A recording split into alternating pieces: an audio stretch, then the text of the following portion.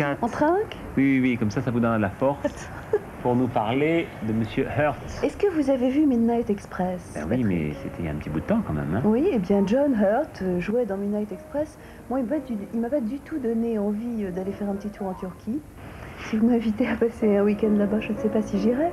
Mais John Hurt est à Paris en ce moment. Euh, Deux films sont à l'affiche avec lui, The Heat de Jérémy Thomas et euh, 1984, on en parlait tout à l'heure d'après Orwell, réalisé par Michael Radford. Le dernier film de, de Richard Burton. Alors il joue euh, Win- Winston Smith euh, et euh, il paraît que John Hurt rêvait de tourner avec Truffaut, qu'il était amoureux de Jules et Jim. He's been working for cinema. J'ai toujours travaillé pour le cinéma plutôt que pour les films.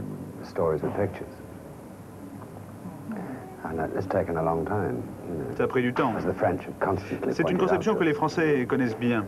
In fact, I heard a very good story. I don't know whether it's À propos de Jean-Luc Godard et le film de Michael Radford, Les cœurs captifs, je connais une histoire très drôle. Je ne sais pas si c'est vrai.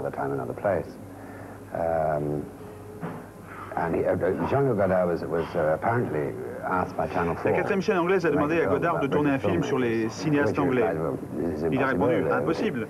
Les Anglais sont incapables de faire des films. So they said, oh, very well. Alors on lui a dit, très bien, faites un film sur ce thème. Les film Anglais ne peuvent pas um, faire de films. the English can't make films. Il a dit OK. Il est parti. When Mais quand on a pris contact avec lui, il a envoyé un télégramme. uh, He got, he was contacted again. And uh, about this film, he's, he sent a telegram back apparently saying, impossible de réaliser le projet. Je viens de voir Les cœurs captifs.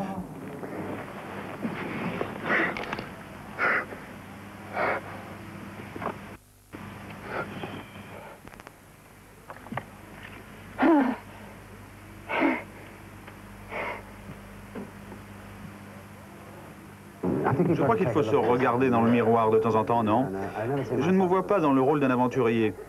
J'ai beaucoup joué la comédie jusqu'ici et j'aimerais encore le faire. Je, voudrais bien en tout cas. J'ai eu, j'ai joué de manière différente la victime de nombreuses fois. J'aimerais faire autre chose maintenant. À propos de ces rôles de victime, est-ce que The Hit représente un nouveau départ?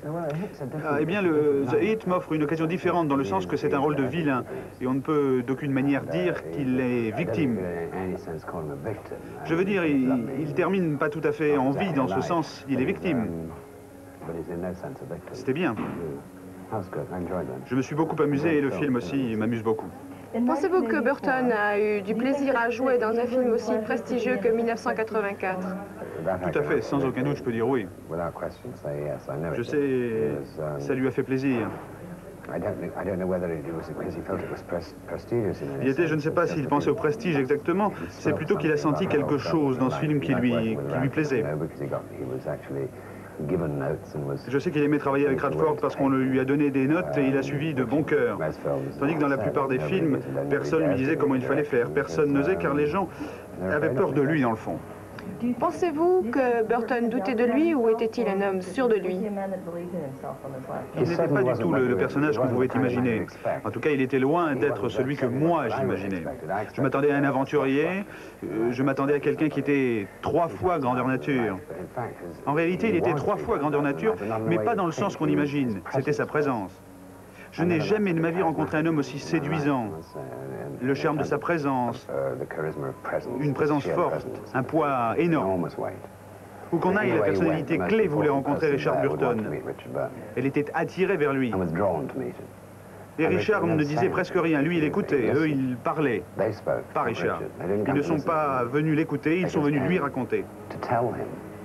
C'était inouï. Voilà, il est temps qu'on se quitte parce que Agnès a déjà bu presque toute la bouteille. C'est Alors, pas vrai. vous avez quelques secondes pour nous dire ce qu'on voit demain. Anne Parillo, César Romero. Exclusivité, la bande-annonce du petit Walt Disney qui va sortir prochainement Robin des Bois. Et puis euh, quelques images des 50 ans.